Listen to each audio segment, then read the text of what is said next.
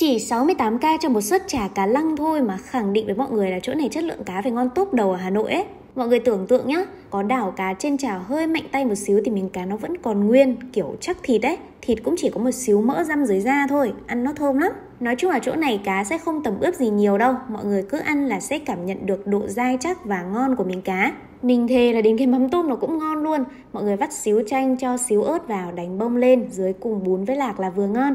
Mọi người có thể gọi thêm một đĩa lòng cá ăn kèm cũng được. Dai dai sần sật cuốn lắm. Không chỉ chả cá đâu mà cháo cá ở đây cũng đỉnh nha. Người ta nấu khéo đến cái độ mà không thấy tanh nhưng mà vẫn ra vị thơm, vị ngọt của cá ấy. Có 85k cho một nồi như thế này thì mình thấy quá chất lượng.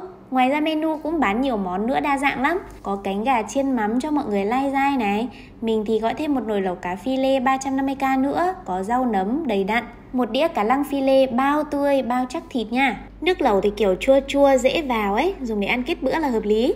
Chả cá ở đây sẽ giảm 50% còn 68k cho thứ hai và 108k cho thứ ba đến chủ nhật. Chất lượng chả cá cực kỳ tốt luôn. Và đây là chả cá ô quan trưởng ở 36A Nguyên Hồng, không gian rộng rãi, lịch sự lắm. Hội họp gia đình hay là bạn bè tiếp khách quý đều vô tư. Mọi người lưu lại bao giờ có dịp thì nhất định phải thử một lần nhé. Bây giờ thì bye bye!